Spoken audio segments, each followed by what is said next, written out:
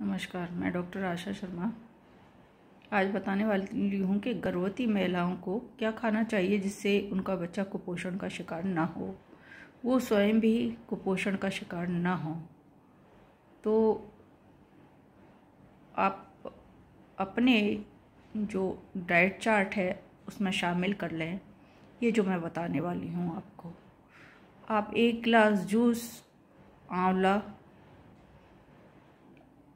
Mix juice, आप चुकंदर है, पालक है, आंवला, इन तीनों का मिक्स जूस आप घर पर ही निर्माण करें, घर पर ही बनाएँ और वो एक गिलास की मात्रा में आपको सुबह सात बजे से आठ बजे के बीच में आपको हर हाल में लेना है। जूस पीने का टाइम सुबह ही होता है। उसके साथ में आप लौकी का रस, लौकी का जूस निश्चित रूप से इसमें शामिल करें। पहले ये तीनों तरह के जो चुकंदर है, आंवला है, पालक है, चाहे तो उसमें ही आधा चुकंदर डाल के और आप वो कंप्लीट जूस आप निकाल सकती हैं। और लौकी का जूस आपको अलग से ही लेना है। नित्य प्रति अगर आप लौकी का जूस लेंगी तो आपके बच्चे को और आपको कम से कम एनीमिया तो नहीं होगा। थैलीसीमिया में भी ये जो जूस है, वो काम करेगा। सिकल सेल एनीमिया होगा तो भी उसमें ये जूस काम करेगा और आपको माल न्यूट्रिशन से बचाएगा।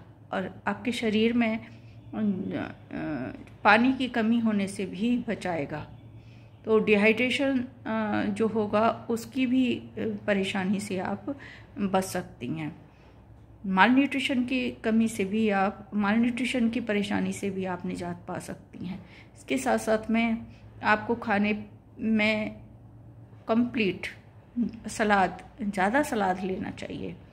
सलाद में हरी जैसे चीज़ें हैं, जैसे खीरा है, आपको टमाटर है, ये तो रिच लेना ही चाहिए तो कंप्लीट लेना ही चाहिए।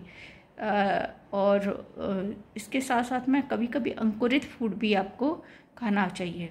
जैसे आपने चने अंकुरित कर लिए, कभी आपने गेहूँ अंकुरित कर लिए आप, आपको चपाती, गेहूँ जो चने की चपाती, आपने घर में जो आटा रखें गेहूँ जो चने का, हमेशा।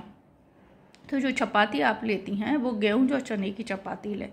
इस प्रकार से ये दो तीन चीज़ें भी अगर अपने जीवन में आपने शामिल करनी, गर्भकाल में तो निश्चित रूप से आपका बच्चा बिना औषधियों के हेल्दी और स्वस्थ ही पैदा होगा। कोई भी, ना तो उस बच्चे को कोई परेशानी होगी, ना उस बच्चे को कोई बीमारी आएगी।